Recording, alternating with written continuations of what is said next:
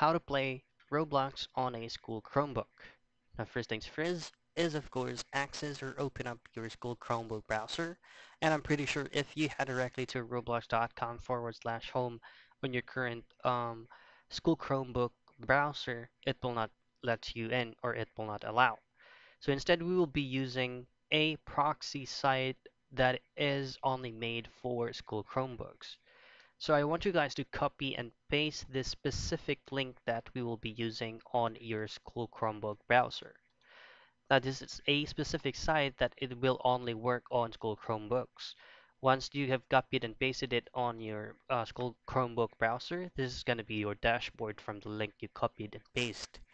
So you uh, can play Roblox on this site. This is a proxy site that is made for uh, school Chromebook browser.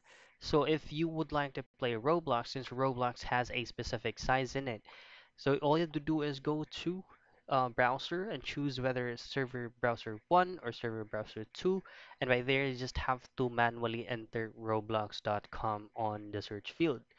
Not just Roblox but you can also check for any other games that is available for this proxy site right here. And that's it. That's how you play Roblox on a school Chromebook